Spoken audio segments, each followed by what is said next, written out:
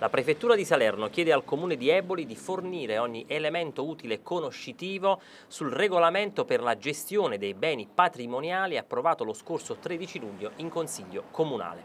E quanto si apprende da una nota del viceprefetto vicario inviata al sindaco, al presidente del Consiglio Comunale e dal segretario comunale.